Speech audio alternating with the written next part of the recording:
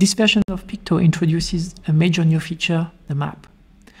You can access the map by clicking on the map icon on the top right corner.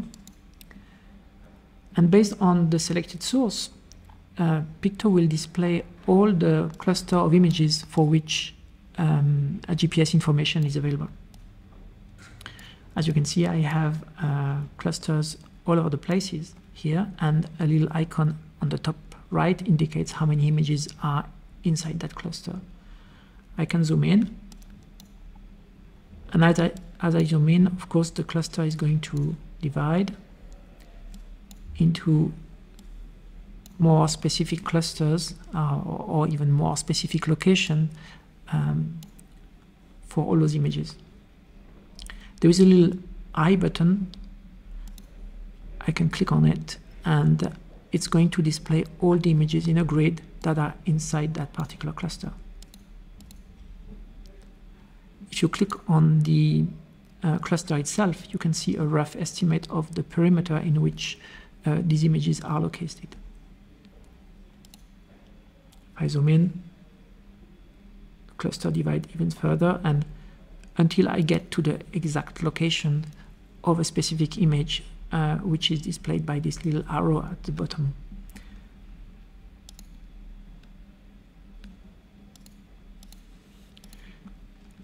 From this view, I can uh, click on that button, see all pictures in this area to move to the grid view for that particular area. And I, you can see that uh, a small filter has been added to my search field, uh, which represent the uh, area in which I'm looking at.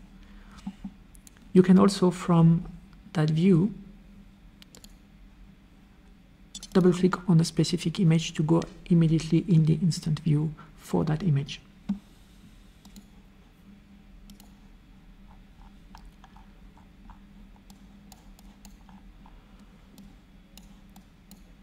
Again, even on large groups, you can uh, easily navigate, find a specific image, double click, and there you are. So this is the map in Peakto 1.2. We hope you like it.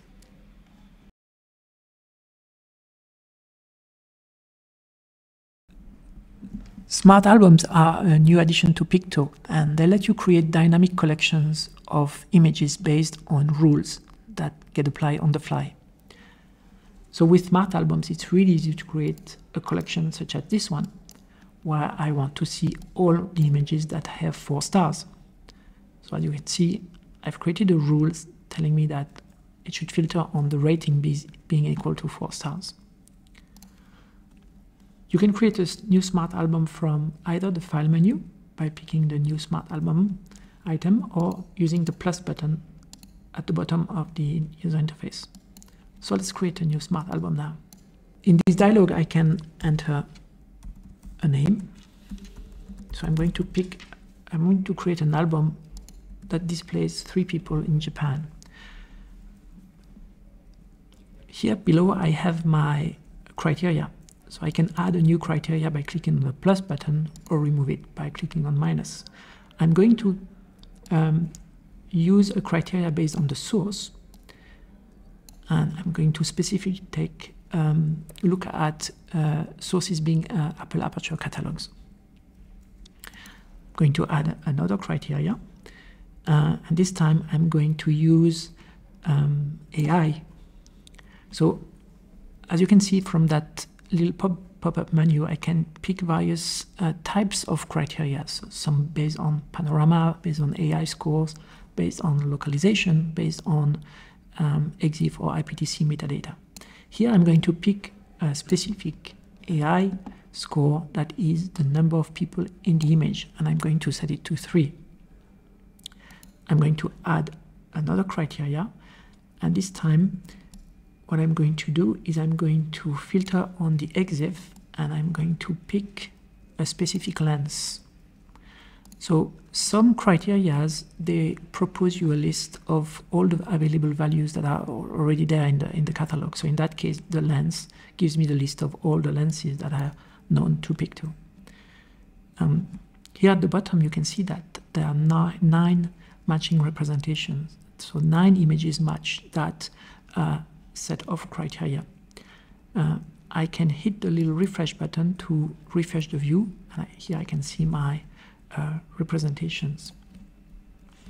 You can uh, very easily disable one or another of the uh, rules that you have set up just to see what, what, how it affects the result. So for example, by not clicking on the people count, I, I get 115 matching representations.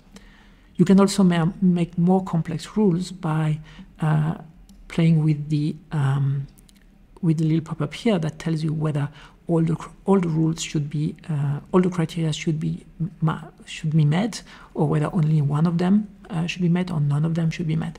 You can also even complexify further by adding groups and you can specify how rules within groups should be uh, uh, applied. So for example, you can say that I want the three um, rules at the top being applied or uh, the rule at the bottom being uh, applied. And uh, this is going to create uh, a mix between and and or operators in your query. Once you're happy with your smart album, you can just click OK and it's going to add it to, into the sidebar. Smart albums behave as albums when it comes to export. So you can export your smart album and in that case the nine uh, files that are um, nine images that are in those in that album are going to be exported. So these are smart albums in uh, in Peakto and we hope you you like it and use it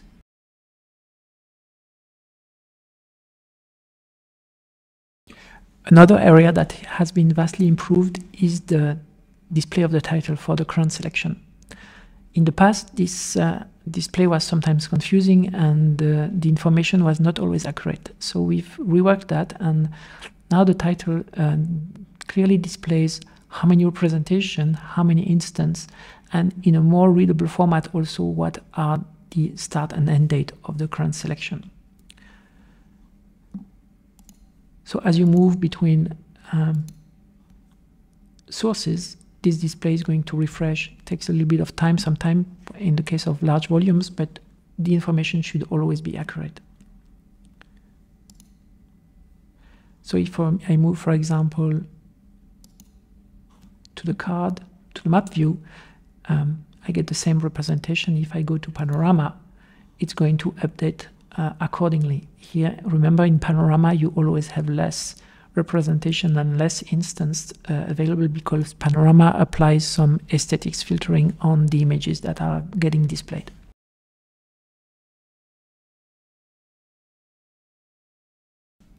This version of Peakto comes with a number of bug fixes and improvements, and some of them are worth uh, mentioning now. First of all, we uh, vastly improved the performance of uh, resizing the window uh, or even um, resizing the uh, the bottom part in, in the case of very large quantities of images. Uh, this should feel much smoother and much faster now. We've also improved consistency of the user interface by making sure that the contextual menu that is very handy that you can get in the grid view uh, is also available anywhere else. So this menu is uh, lets you create, for example, an album from a specific selection of images or uh, launch the editing process. And it was only available in the grid view.